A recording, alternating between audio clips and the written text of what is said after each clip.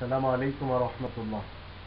এক শ্রেণির লোক সবসময় আপনার আশেপাশে, আমার আশেপাশে থাকে। যাদের অ্যাক্টিভিটি হলো, তারা এই শুধু কোরআন পছন্দ করে না, এই কোরআনকে বদল দিতে চায় এবং এই কোরআনের মোকাবেলায় মানব রচিত গ্রন্থ এনে হাজির করে। সেই গ্রন্থগুলি ফাজাইলেরও হতে পারে, ফয়জানেরও হতে পারে, মাসাইলেরও হতে পারে।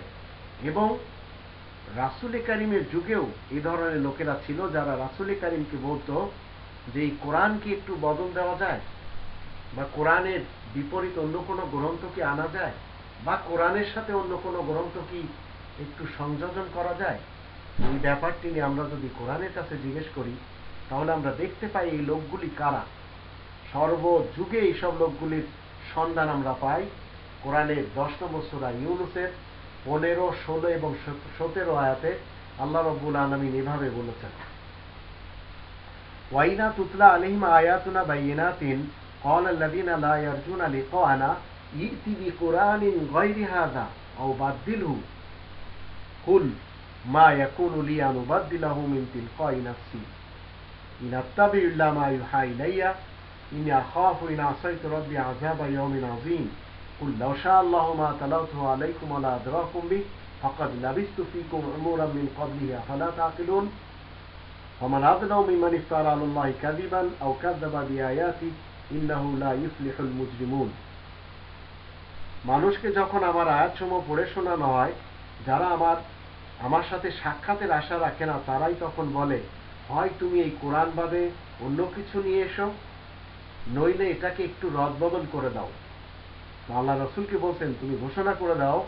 আমার সে ক্ষমতা নেই যে আমি নিজের ইচ্ছা মোতাবেক এতে কোনো রদবদল করব। আমি তো সেই হুকুমের দাবেদারি করে থাকি যা আমার কাছে অভিযোগী আসে। আমি তো ভয় পাই। যদি আমি আমার রবের অবাধ্য হই, তাহলে সেই বিরাট দিনের আজাব সম্পর্কে। আবার আল্লাহ বলছেন, তুমি ঘোষণা করে দাও, আল্লাহ যদি ইচ্ছা করেন, তাহলে তো আর আমি তোমাদেরকে এই আল কিতাব পড়ে শোনাতাম না। আর তিনি তোমাদেরকে তা জানতেও দিতেন না। তার আগেও তো আমি তোমাদের মধ্যে বয়সের একটি অংশ কাটিয়ে দিয়েছি। তোমরা কি নিজেদের বুদ্ধি বিবেচনা মোটেই খাটাবে না? তার চাইতে বেশি জালেম আর কেই বা হতে পারে যে নাকি আল্লাহ তালার উপরে মিথ্যা আরোপ করে কিংবা তার কোনো আয়াতকে মিথ্যা প্রমাণ করতে চায়? অথচ কথা সত্য সুনিশ্চিত যে অপরাধীরা অপরাধীরা কিছুতেই সফল হবে না, তারা সফল কাম হবে না।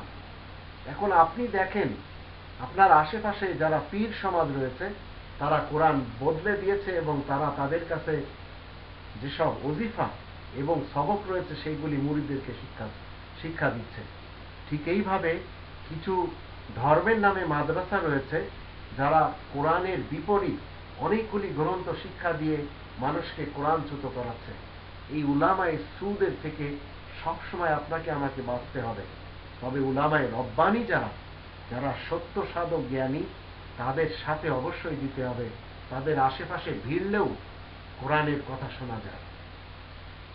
অন্যথায় যারা কোরআন বদল দিতে চায় বা কোরআনের সাথে অন্য কোনো গ্রন্থকে বলতে চায়, তাদেরকে এড়িয়ে চলা মুসলিমদের কাজ।